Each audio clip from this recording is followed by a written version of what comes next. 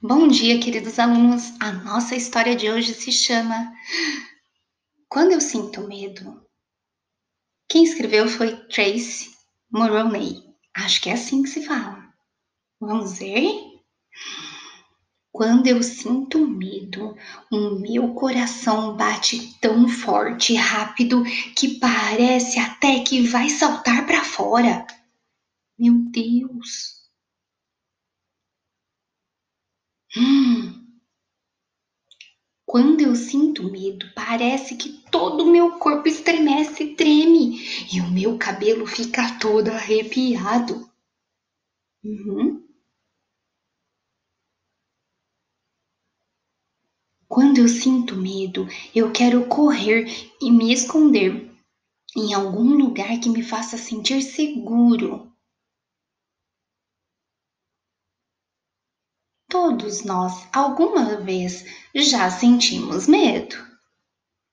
Algumas coisas que fazem sentir medo são aranhas, insetos perigosos e pessoas que são muito briguentas. Uhum.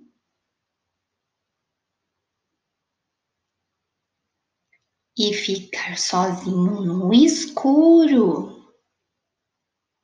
Sentir medo pode ser bom, pode nos ajudar, nos ajudar a evitar o perigo e nos fazer gritar por socorro. Cada um de nós tem medo de coisas diferentes. Algumas coisas que me fazem ter medo podem não causar o mesmo para outras pessoas. Verdade. Conversar com alguém pode nos ajudar a entender quais são as coisas que nos fazem sentir medo. Isso pode não ser assim tão assustador. Olha lá o que, que era, que ele imaginou que era um monstro, na verdade era um brinquedo em cima de uma pilha de roupa. Hum?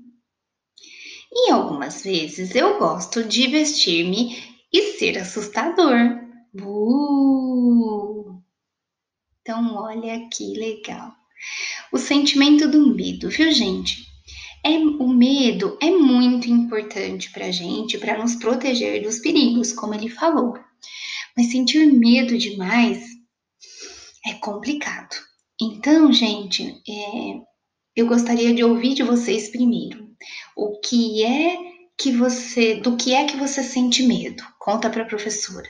Depois, uh, como é que você sente o medo no seu corpo? Você viu que o coelhinho falou que o coração dele dispara e o corpo começa a tremer. E no corpo de vocês, como é que vocês sentem esse medo? E depois, depois de sentir o medo, né, o que, o que vocês fazem para acalmar? Que coisinhas que fazem para acalmar? É alguém que precisa te ajudar? Ou você respira para se acalmar? Que coisas que vocês fazem quando vocês sentem medo? Espero que tenham gostado dessa história. Tenham um bom dia e uma boa aula.